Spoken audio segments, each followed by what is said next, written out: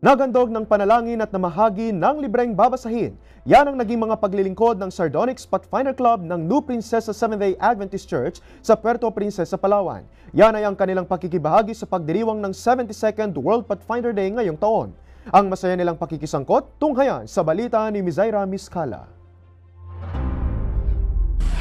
Kasabay na ika-72 taon ng World Pathfinder Day na may temang Change the World, ang Sardonyx Pathfinder Club ay nakisangkot sa pamamagitan ng online worship kasama ang iba pang Pathfinders at Master Guides sa North Philippine Union Conference. Ang Sardonyx Pathfinder Club ay isang church-based pathfinder sa New Princesa Seventh-day Adventist Church sa Palawan at mayroong 22 aktibong mga miyembro kasama ang iba pang mga pathfinders at master guides sa buong North Philippine Union Conference sa nasabing online worship sa umaga. At sa hapon ay lumabas ang mga ito upang maghandog ng panalangin kasabay ng pamimigay ng babasahin sa mga taong kanilang makakasalamuha. Ang aktibidad na ito ay tinapos sa pamamagitan ng sundown worship na nagkaroon ng pagbabahagian ng kanilang naging karanasan sa araw na iyon. Mababakas ang tuwa sa muka ng bawat isang nakisangkot dahil sa muli ay nagkaroon na naman ng mga gawaing tulad nito. Masaya lang sa nagbigay ka ng mga book sa mga taong nangangailangan din at ng mga prayer na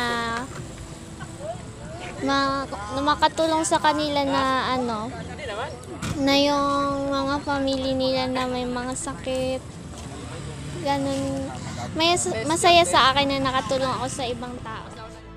Ang pakikisangkot sa mga gawain na tulad nito is kailangan talaga yung iyong availability and your willingness.